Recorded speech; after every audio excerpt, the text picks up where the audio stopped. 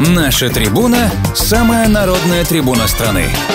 Товарищи, эволюция, о которой мечтали все рабочие и христиане, свершилась. Броневики прошлый век. Сегодня мы живем по-новому. Программа «Народная трибуна». Открытый микрофон для всех, кто желает высказать свое мнение. Свое мнение. Телефон прямого эфира 847 400 5200. Здравствуйте.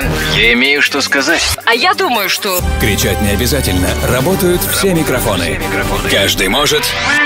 сказал, не высказал, сказал. Возвращаемся в программу «Народная трибуна». Телефон в студии 847-400-5200. И до того, как мы ушли на перерыв, э, наш радиослушатель задал вопрос по поводу повестки а, Дональду Трампу младшему а, в, ком в комитет по разведке Сената США. А, вы знаете, что в Сенате большинство принадлежит республиканцам, соответственно, комитет возглавляет республиканец, а, сенатор из Северной Каролины, Каролайна. по-моему, а, Ричард Берр. Якобы республиканец его называют. Рина. Его называют якобы Republican in name only. Да. А, и поэтому повестку по существующим правилам не может выписать, э, скажем, там один демократ или демократ или республиканец. Это должна быть подписано обязательно и республиканцами, и демократами. То есть Ричард Бор вообще затянувшиеся вот эти я к нему относился всегда с большим подозрением по ходу вот этого расследования, которое они проводили. Э, Я его слушал, его интервью иногда, и такое впечатление у меня складывалось, что он подыгрывает а, демократам, а точнее он ненавидит Трампа. Вот такое впечатление у меня складывалось, когда я его слушал. И похоже, что я не ошибся. Похоже, что он забыл, что он уже давал показания нескольким комиссиям в, в В 27 20 часов. часов, Более 20 часов, а, да. э, Трамп младший давал показания комитету а, Нескольких комиссий да, комитета неск- этого. неск- не комитетам и ко- э, сената. Конгресса, то есть. Да. А, ну что сказать, а, если уже там, 17 или 19 злых демократов, многие из которых э, ярые сторонники Хиллари Клинтон, которые а, приложили максимум усилий с тем, чтобы накопать на Трампа хоть что-то, не смогли ничего такого накопать, то трудно себе представить, что эти оболтусы, которые сидят в Сенате, могут до чего-то докопаться, что могло бы повредить репутации Трампа. Единственная цель, которую они могут преследовать, и которая достижима, это как можно больше говорить, унижать, оскорблять, дергать, поливать грязью, то есть создавать а, так называемый, ну, Черный пиар. Да, есть еще специфический такой специфический термин а, новостной, подожди, ну хорошо, информационный повод Мгм. для проституток в средствах массовой информации. Информационный повод. То есть MSNBC, CNN, ABC, CBS и так далее, все по списку будут мусолить это и каждый раз будут приглашать какого-нибудь эксперта, который будет рассказывать о том, что, ну вот, ты, ты же помнишь, два с половиной года нас убеждали, что Трамп не только колодит с русскими, но он предатель, он действует, он шпион русский, он действует в интересах России. Подожди, а что продолжает все равно говорить? И продолжает Несмотря говорить. на все эти отчеты. Вот, и это будет еще один Ты информационный мне скажи повод. другое, почему Ричард Бур до сих пор он является председателем комитета. комиссии, если, простите, от него отвернулась вся республиканская партия. Его, да, Его ненавидят все республиканцы. О нем в Твиттере такое пишут. Почему он до сих пор остается вот председателем Знаешь, э, этой комиссии? Вообще, ты помнишь, что э, я посмотрел его биографию, он работал менеджером в компании, которая продавала сенокосилки до Мгм. того, как был избран. Но у него там какие-то... Кто-то из его родственников когда-то убил през- э, Джефферсона. Мгм. Вот я где-то читал. Вот общем, эта история у них такая, семьи. у них такая история большая. Да. А, были Бор а, в в Сенате, там из, из Нью-Йорка кто-то, ну, какой-то из их... Из их Ну, они, послушай, его республиканцы, он получил это место, обычно как получает место председателя комитета, его получают по старшинству а, в чем-то. Ты знаешь, я- Сеньорити, что ли? я, я не знаю. Сеньорити. типа. Ну, посмотри, вот... Ты э, знаешь, в Конгрессе я слушал э, несколько было программ, а конгрессмен, не помню откуда, рассказывал о том, как назначаются в комитеты, просто в комитеты, не говоря уже о, о председателях. Все зависит от того, сколько денег человек соберет. Ага, Нет, да. это, сам- да, это само собой. Но там получается, ты понимаешь, вот смотри, как попала э, Максин Уотерс, вот как она попала представителем комитета по финансам, да? Она попала, потому что подошло ее время, и э, ее поставили председателем комитета, то есть по выслуге, как говорится. Убрать его, в принципе, республиканцы не могут. Почему? Невозможно. Потому что он не делает ничего такого, чтобы его убрать, ряда нужно объявить выходящий. Да, импичмент. да, да. Его нельзя просто сместить. Ему нужно объявить импичмент. И мы уже знаем, что такое объявить импичмент и насколько это тяжело. Поэтому он остается Ну, в во общем, власти. в общем, подыгрывает. Э, Его, ты понимаешь, и два мотива можем, мог- мы можем спекулировать. Либо он по-прежнему также ненавидит Трампа, что использует любую возможность, чтобы ему насолить, либо какой-то меркантильный Либо он интерес. по-прежнему ненавидит Трампа и не может ничего с этим поделать. Или, или, или, или получил какой-то какой-то там Ну вот смотри, Сереж, вот э, я не знаю, ты, ты слышал э, коми... э, Ну, трудно себе представить, что человек, который столько лет в политике, он был в Конгрессе, теперь в Сенате, начиная с 94 года, по-моему, в Конгрессе был. Да. Трудно себе представить, что вот этот шаг, он вредит партии, он вредит государству нашему, он вредит избирателям, он вредит Трампу. Трудно себе представить, что он этого не понимает. Ему сказали, что если ты не умеешь держать закрытой ширинку, хотя бы рот закрытым держи. Помнишь, да, когда Он понимает прекрасно. Просто ты говоришь, он вредит партии. Он вредит, э, может быть, и партии, но он работает на Never Трамперов, и он работает именно на А вот этот, э, э, на этот свамп, а что является которому он принадлежит. Наверное, получил денег. Да ничего, амбиции какие-то, Ну, может может, быть. денег получил.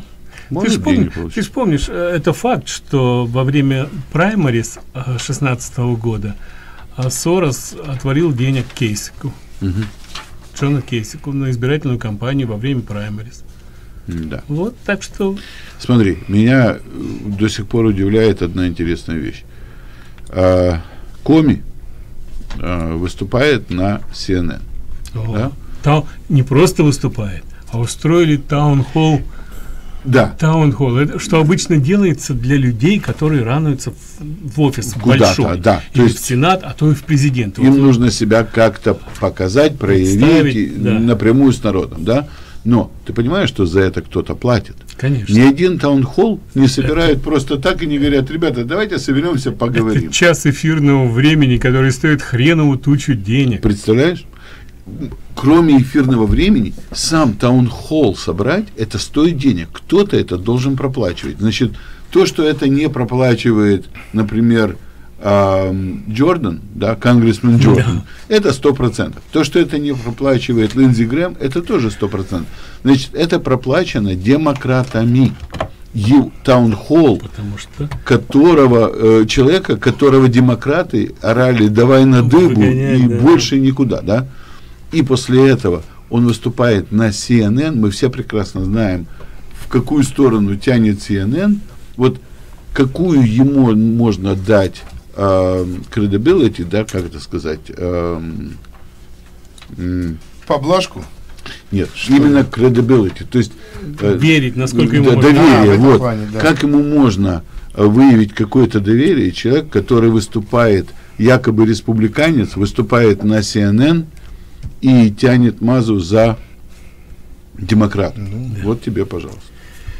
А, ты, я видел, да, у нас звонки. звонки давай, есть, давайте давайте примем звонки. Добрый день. А, Добрый день еще раз.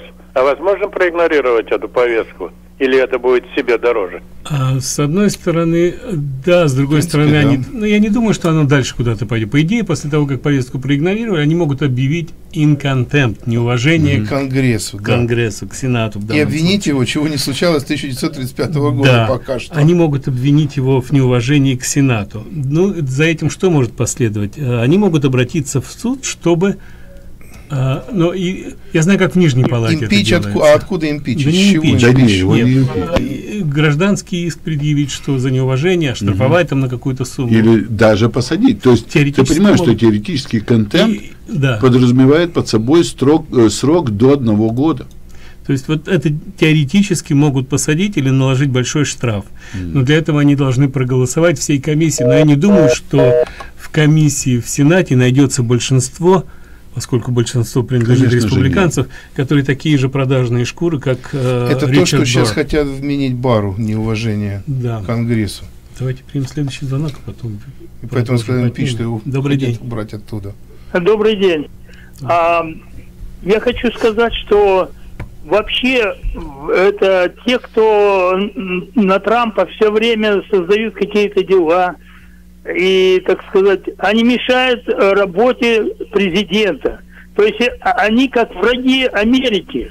Почему их нельзя привлечь к ответственности за ложные, так сказать, э, ну, наговоры и все прочее, введение огромных средств, денег на расследование, дв- два года длилось и так далее. Нельзя их привлечь э, к ответственности. Это враги народа, Ну, враги спасибо Америки, большое. я так Спасибо, понимаю. да, да, Ну, нет, за вы это немножко неправильно понимаете. нельзя, а Они, поскольку... они делают свою работу.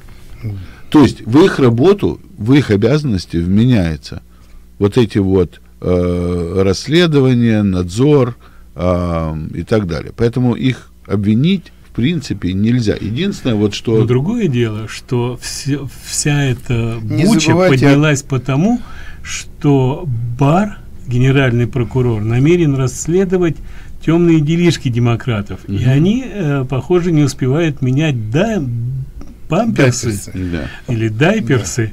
И поэтому они, так сказать, пытаются пойти в контратаку. Они пытаются дискредитировать Бара, дискредитировать э, потенциальные его результаты расследования.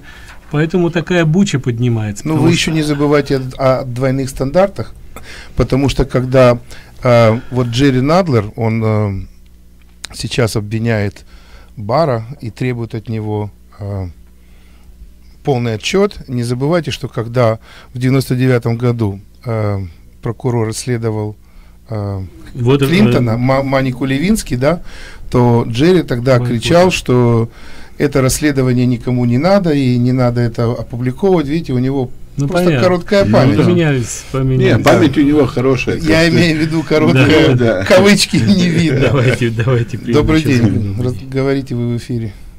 Здравствуйте. Здравствуйте. А, Я бы хотела высказать, потому что у меня наболело. Во-первых, я хочу Анатолию сказать, что мне очень нравится, как вы ведете передачи. От вас веет такой спокойствием, уверенностью, уважением. Вы хотите объяснить сложные вещи людям.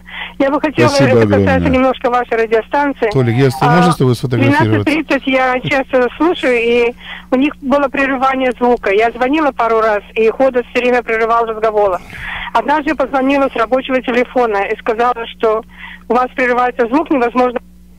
Он бросил трубку, а потом он мне звонил на мой рабочий телефон или восемь раз. Но я работаю в реанимации, я не могла взять, у меня... И в последний раз... а, это стычка с Бабичем, и он сказал, что это недопустимо, чтобы моих работников оскорбляли или говорили плохо. Это очень важная вещь, он сказал. А как он допускает Бабичу постоянно оскорблять других работников, других радиостанций и называть мистер Зу, мистер Жужжащий? У каждого человека есть имя и фамилия. И надо уважаться с уважением. Если ты такой смелый, назови имя, назови фамилию. Или Он не может- радио я прошу прощения, я- я И прекрасно помню какой эту историю. языка, и какой он знаток. э, И когда э, звонит человек Мак, я его лично знаю, он очень пожилой человек, он работает, он грамотный инженер, он знает хорошо эту страну и разбирается в политике. И последний раз, когда он звонил, он его просто рассоптал. И он сказал, иди на Комаровский, тебя может поставить на место. Он забыл, что Бабич его тоже несколько раз стал на место и рассказывал, сколько денег он э, день, люди ему платили спа- Ну, Спасибо это, большое, Это ну, другое радио, мы не хватит, будем да. сейчас их обсуждать. Единственное, что когда не называет вещи своими именами и не называет имена в открытом эфире по одной простой причине. Люди боятся, что их будут, может быть, даже судить. Поэтому, если они не говорят в открытую Олег Патлах или Толик Червец, то у них так это много времени потеряли, тратим, тратим на потеряли это, да. на, на то, что Нечего не обсуждать. стоит. Нечего обсуждать. Да. Олег, я вот обратил внимание на твой пост э, в Фейсбуке. Ни один демократ не э, осудил Хамас за сотни ракет, выпущенные в Израиль. Это я говорю сейчас для наших израильских радиослушателей, которые подключились на, на YouTube, смотрят, Ты слушают знаешь, нас. я в основном информацию черпаю сейчас даже не из газет. Я очень люблю девятый канал, этот израильский, Да. между прочим. Но у меня живет двоюродная сестра в Иерусалиме. У нас есть друзья в Бейершеве. У нас родственники, друзья по всему Израилю. Я с ними разговариваю вот в мессенджер, там другие пути общения. И я информацию беру от них. К сожалению, эта информация практически нигде не появляется в основных средствах массовой информации. К сожалению, ее умалчивают. Все равно продолжает обвинять Израиль э, в том, что они агрессоры, что они ведут негуманные действия. Ты себе не представляешь, Сережа, когда я по мессенджеру, видеомессенджеру разговариваю вот с одноклассником жены, они сидят в убежище, в бомбоубежище, они сидят и говорят, вот там за углом ракеты летят, мы вот здесь сидим, пережидаем. И мы говорим, как же, как же, он, невероятно, человек полуулыбается, разговаривает. Это страшно, когда это становится уже обыденной вещью. Люди настолько привыкли, дети знают, что нужно делать. Знаешь, народ настолько вот натренирован и обучен этому.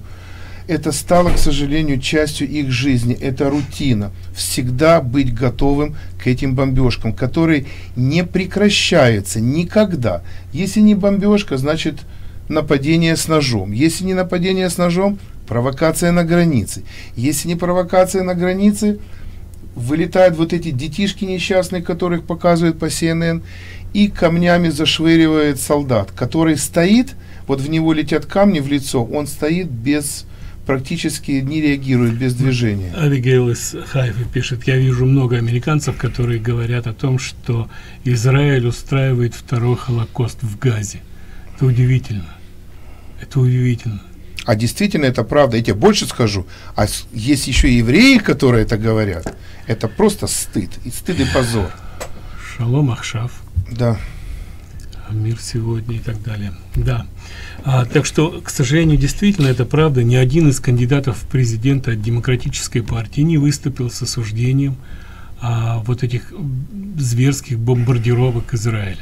Более 500 ракет, по-моему, 600 ракет в общей сложности было выпущено по Израилю. Где-то так. Причем я смотрел видео, это жутко, когда залп, залповый огонь ведется. Мгм. А, то есть не одна ракета дурная, вот как они раньше пускали, эти самоделки. Да, болванки. эти. Болванки, да. А это настоящие ракеты, такие установки, которые залпового огня, они с- м, просто кучами летят ракеты.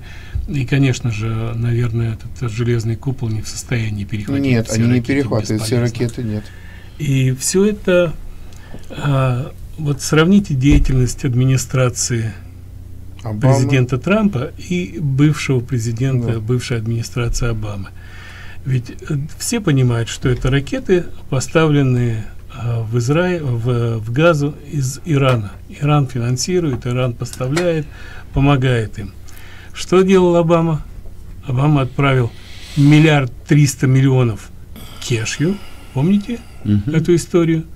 Там самолет полетел в Швейцарию, поменял доллары на различную валюту, загрузили палатами такими а, валюту в самолет, привезли, аэтолам дали. И вот теперь эти деньги, которые Обама отправил аэтолам, это они падают на головы Ты израильтян. знаешь, это деньги, которых мы знаем, а, наверное, А есть еще деньги, которые Разморо- мы не Обама знаем. разморозил 150 миллиардов долларов замороженных средств, которые позволяют им, во-первых, развивать свои эти ракеты, атомное оружие и сфинансировать Ха- Хизбаллу, Хамас, все, что хотите. И вот, и что делает Трамп? Трамп отправил авианосец к берегам. Мгм. и предупредил. Помпео заявил, если чего-то, какое-то шевеление в сторону наших интересов или наших союзников на Ближнем Востоке, вы об этом пожалеете. Я просто хочу добавить к этому то, что, дорогие друзья, те, которые э, ратуют за Обаму, которые считают, что Обама все равно был, наверное, самым лучшим президентом в истории Америки. Э, поймите или примите одну такую, один такой факт. До того, как Обама отправил деньги в Иран, Иран фактически был на грани краха. На support. Просто support. То есть все, что нужно было делать, это чуть-чуть дожать, и вообще Ирана бы больше, я не имею в виду как страны, но правительство Аятол больше бы не существовало. Что делает Обама, ваш лучший президент в Америке, который получил Nobel Peace Prize, Нобелевскую премию мира? Он отправляет вот эту тучу денег в Иран, зная о том, что там сжигаются американские флаги и возгласы смерти Америки, он отправляет эти деньги туда. Иран вновь, прямо вот как птица Феникс, воспрял из пепла. Мало того, что он теперь атакует израильские границы, так мы еще должны тратить деньги вот на этот ракетоносец, который пошел в Средиземное море для того, чтобы предупреждать Иран. Понимаете, кто-то ведь за это же наши деньги, кроме того, что им дали наши деньги для пользования, мы еще тратим деньги на то, чтобы от них же обороняться. Вы себе представляете? Эти средства были использованы на возобновление и продолжение э, nuclear weapon, ну, Программа я, программа ядерного- ядерного оружия, которое должно быть использовано, в принципе, против нас. У нас осталось три минутки, есть звонки, может дадим возможность. Добрый день. Алло. Алло. Да, пожалуйста. Да, да, здравствуйте. А, извините, может, вы уже об этом говорили, но когда я услышала, что а, они сравнивают отношение израильтян к Холокосту, я вспомнила, кто первый об этом заговорил. Это наш замечательный Обама в своей речи, когда он сказал, что вот у евреев был Холокост, а теперь они устраивают черную жизнь благодаря своей оккупации. Это сказал Обама первый раз. То есть он несколько раз это повторял в своих предыдущих и последующих речах. И что я хочу сказать, что те евреи и не евреи, которые поддерживают этого бандита, это бандит, значит, они соучастники преступления. Вот и все. Спасибо за внимание. Спасибо вам Очень, огромное. очень правильно Спасибо. сказали. Давайте еще. Кто бы спорил, а я не буду. Добрый день, вы в эфире. Добрый день. Э, Конечно, он отдал деньги замороженные иранского правительства. Это было частью договора о приостановке всех ядерных испытаний и изготовления ракет. Это было частью это договора. было хорошо, я понял. Это было не частью договора, это было частью аферы, которую Совершенно Байден верно. с э, Обамой протолкнули в глотку американскому народу. Этот договор никогда не был ратифицирован в Сенате. Это даже не был Он договор, подписан не был. потому что договор ратифицируется в Сенате. Это была некая договоренность между Обамкой и аятолами, которые никогда даже даже иранцы его не подписали. Это была обычная афера. Я не знаю, какой кикбэк получил Обама и его миньоны из этих миллиарда трехсот миллионов долларов которые они кешью отправили в Иран. Я не знаю, сколько туда дошло, а сколько осталось в кармане у ублюдков в Америке. Это никакой не договор. Это об, об опасности этого соглашения предупреждал Израиль. Об опасности этого соглашения предупреждали республиканцы здравомыслящие. Неужели, неужели, вы Договор, думаете, блин. неужели вы думаете, что на самом деле Иран, получив деньги, собирался их использовать в мирных целях? Но нельзя же быть Разве- таким наивным. Вы же понимаете, с какими режимами вы имеете дело, с какими аятолами и прочими мы имеем дело. Мы же знаем, что исламизация всего мира – это цель, их цель. И Послушай, уничтожение Израиля и Америки. Ну, Если человек верит в то, что вот эти деньги были а, отданы за договор по не без ядерному э, безоружению, то тогда ответьте мне, пожалуйста, на вопрос, какое ядерное вооружение вы проследили с тех пор, как по- э, Иран получил эти деньги. Скажите мне, пожалуйста, какой, о каком ядерном разоружении мы сегодня говорим? По вашей же логике, между прочим, господин все знает. Никакого разоружения не было. Мы, как э, проводились программы по а, производству ядерного оружия, так и производится. И действительно, Израиль об этом предупреждал не один раз. Ну, кто же слушал? Ну, к сожалению, мы должны прерваться. Вернемся буквально через несколько минут. Никуда не уходите.